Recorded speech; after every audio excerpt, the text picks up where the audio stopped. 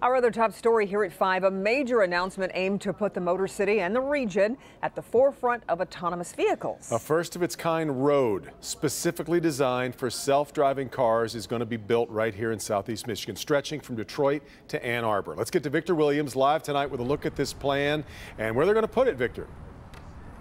Well, it's going to be on Michigan Avenue along with I-94, and what an exciting time to be alive. But this is all basically being done because we want to be at the forefront of yet another automotive revolution.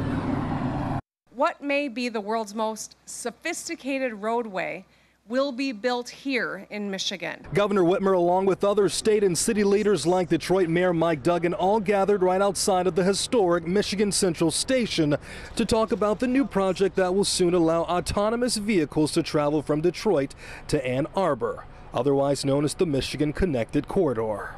As the vehicles of the future are designed behind us, the roadway of the future is going to be built in front of us. Look at Michigan Avenue. It's got the width that we need. The project will take place along Michigan Avenue and I-94. Construction higher ups in the Motor City have been looking forward to for quite some time.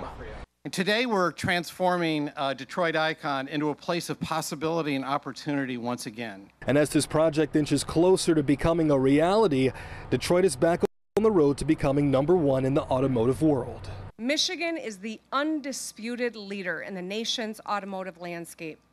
Whether that is building cars, improving infrastructure, or creating an ecosystem to solve the biggest challenges in future mobility.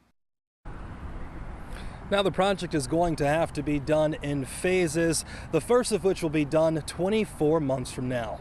Reporting live, Victor Williams, Local 4. Back to you.